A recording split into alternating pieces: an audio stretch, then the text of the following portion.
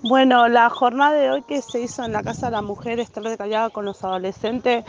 una jornada muy linda, muy cálida, nuestra primera mateada con los adolescentes de, del barrio,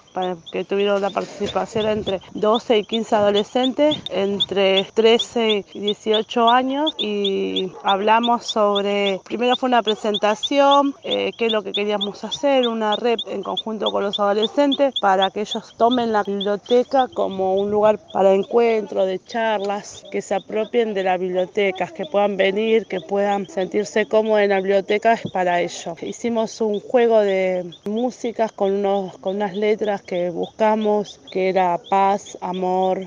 igualdad, celos, mujer. Salió una hermosa canción eh, que entre todas las pudimos hacer, así que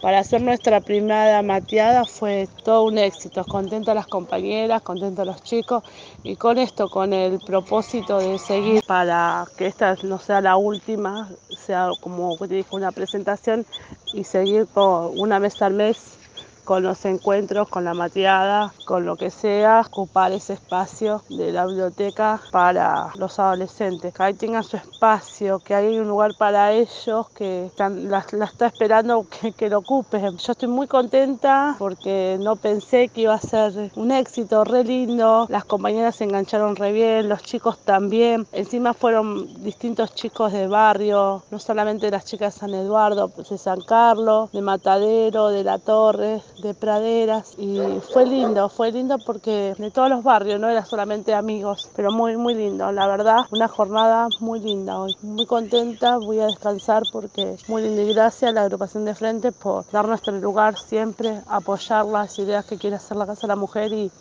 muy agradecida.